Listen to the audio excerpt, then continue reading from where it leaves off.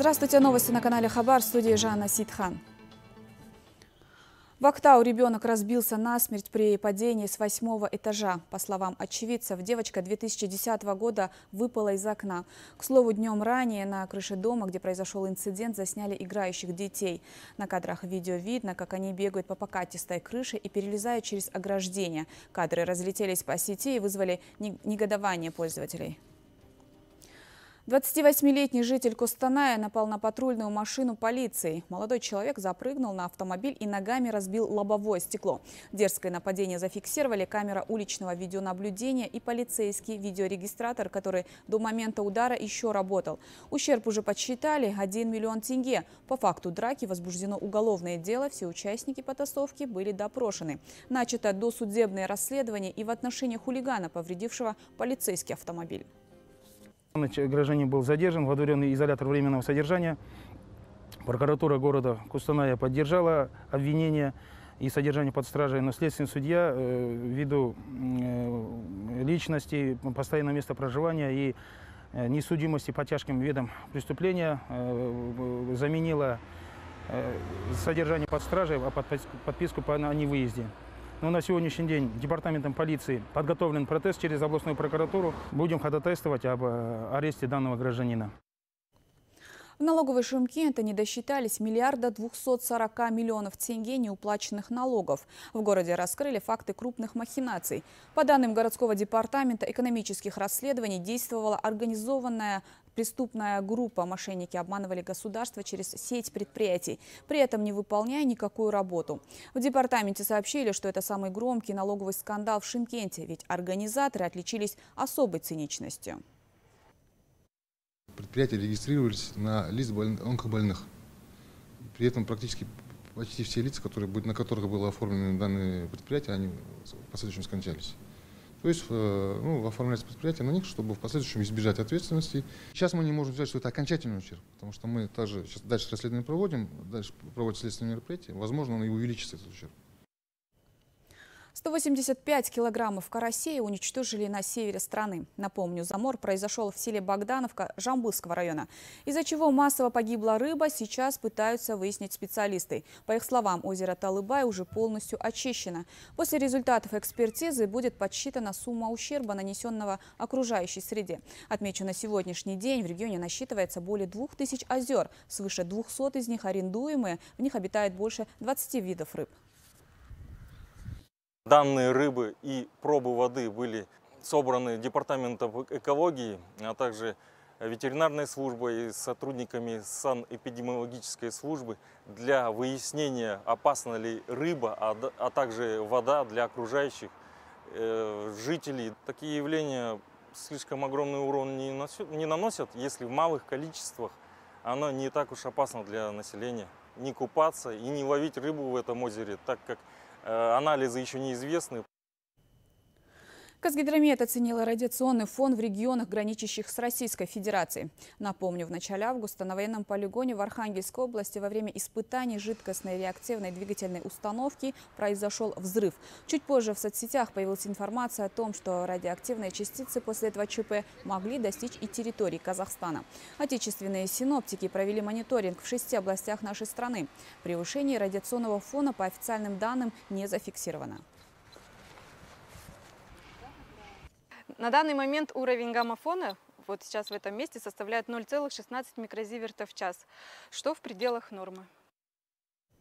В случае резкого скачка цен на продукты алматинцев обещают обеспечить дешевым сахаром, маслом и гречкой. Две с половиной тысячи тонн этой продукции в наличии в хранилищах стаб фонда. А вот если подорожают овощи, мясо и другие важные продукты, местным властям придется договариваться с торговцами. В Акимате заверили, что следят за ситуацией на рынках и супермаркетах и в случае наглой спекуляции выезжают на места, чтобы не допустить массового ажиотажа.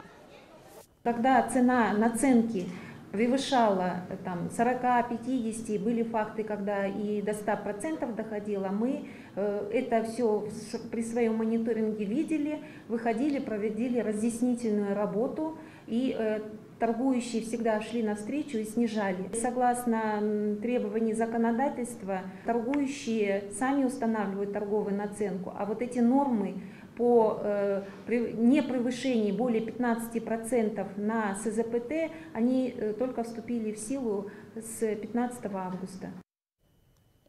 Более 40 тысяч квартир выделят многодетным семьям в Казахстане в ближайшие 7 лет.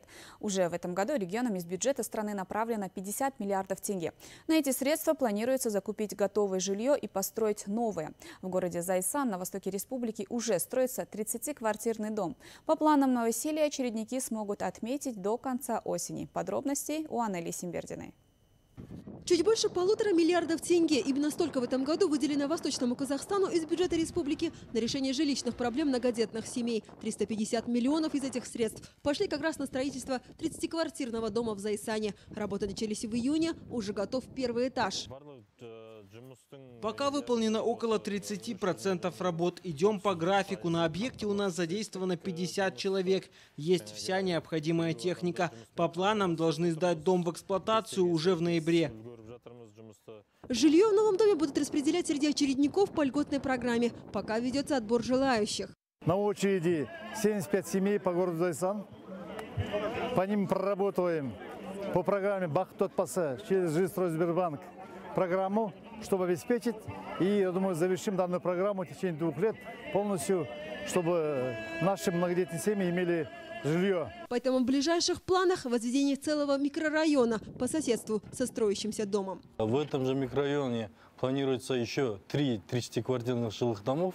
Э, в том числе у нас еще поданы бюджетные заявки на 60-квартирные по улице Тарагырова, э, два э, многоквартирных жилых домов, тоже для социально уязвимых слоев населения. Кроме того, в Зайсане закупают и готовое жилье для многодетных семей в селах. Так, при поддержке предпринимателей через специальный фонд приобретено 11 домов в районе. Всего в области в этом году планируется обеспечить крыши над головой больше 200 нуждающихся семей.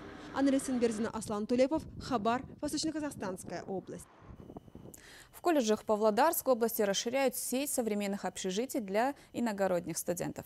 До конца года двухместными комнатами планируется обеспечить 400 приезжих юношей и девушек, которые получают образование по техническим специальностям. Стройка уже идет полным ходом. В Аксусском колледже черной металлургии, где готовят кадры для крупнейших промышленных предприятий страны, своего общежития никогда не было. Из бюджета выделено 670 миллионов тенге. Новое здание рассчитано на 200 человек.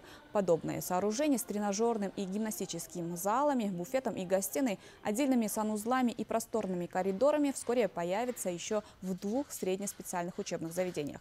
Всего в Павлодарской области 32 государственных колледжа действительно для нас долгожданный объект, потому что на сегодняшний момент из общего контингента, а это 445 студентов, 189 человек – это ребята из сельской местности, это сельская молодежь. На сегодняшний момент эти ребята проживают где-то у родственников, ежедневно приезжают в сел, а вот э, строительство общежития и вот его в эксплуатацию решит проблему жилья. На сегодняшний день потребность э, в местах в общежитиях составляет 1500 мест по колледжам. Э, в настоящее время строится два общежития для Аксусского колледжа черной металлургии и Павлодарского колледжа транспорта и коммуникаций. Также ведется разработка проектно-сметной документации для Павлодарского педагогического колледжа на 200 мест. Улутау в ближайшие несколько дней станет не только географическим центром страны, но и культурным. Сегодня в регионе стартует настоящий марафон из форумов и фестивалей. Три дня будут яркими и насыщенными. На живописной поляне в предгорьях Улутау пройдет международный форум сельской молодежи. В регион уже съехались 200 самых активных представителей современного поколения сельчан из всех областей Казахстана и ближнего зарубежья. Их ждут квесты и мастер-классы, тимбилдинги, а также выдача грантов. Завтра к ним присоединятся представители турфирм фирм. Развитие в Улутау индустрии отдыха обсудят в рамках туристического форума. А в субботу пройдет этнофестиваль «Жескик». Кроме отечественных фолк-музыкантов выступят и европейские исполнители. В концертной программе коллективы из четырех стран Старого Света. Особый гость фестиваля – Димаш Кудайберген. И в завершение о погоде. Сегодня на большей части страны синоптики прогнозируют грозы и град со шквалом. Ливни ожидаются на севере, востоке и в центре республики. В пяти регионах объявлено штормовое предупреждение. Кроме того, в большинстве областей сохраняется режим чрезвычайной пожарной опасности. Более подробную информацию о метеоусловиях на сегодня вы можете узнать сразу же после нашего эфира. Выпуск завершен. Встретимся с вами в 13 часов. До свидания.